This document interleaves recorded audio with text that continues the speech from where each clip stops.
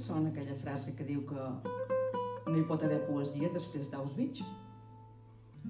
A veure com ho has dit això, torna a repetir. Que no hi pot haver poesia després d'Auschwitz. No, no l'he sentida mai. Aquesta frase de qui és? D'Adorno, el filòsof. Ah, doncs mira, hi estic bastant d'acord. Sí, sí, hi estic d'acord. No, doncs jo no hi estic d'acord. Bé que hi ha hagut poesia després d'Auschwitz, no? Sí, sí, esclar, esclar, n'hi ha hagut, però possiblement el que vol dir el filòsof és que, és que després de tantes barbaritats no pot haver-hi bellesa, no et sembla? Mira, el que jo penso és el següent.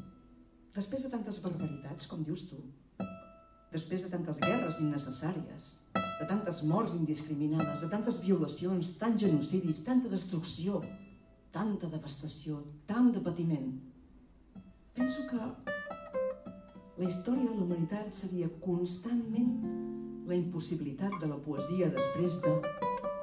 I de fet no ha estat així. Bé que n'hi ha hagut de poesia després d'Auschwitz. Qui si no, de fet, pot explicar Auschwitz? Home, doncs potser ho poden explicar els historiadors, els museus, la memòria col·lectiva, els qui van ser... Sí, sí, esclar, tot això ha d'existir. Però la realitat de l'experiència viscuda no es pot comunicar a través d'un estudi. Penso que l'artifici literari és la millor de les maneres d'arribar al cor, a l'ànima, de fer-ho entendre tot. Que m'entens? La poesia ha d'existir. I doncs, què fem amb Adorno? Tant es va equivocar aquest senyor? Tu què proposes? Doncs jo proposo just el contrari. Jo et diria que, de fet, la poesia cal més que mai.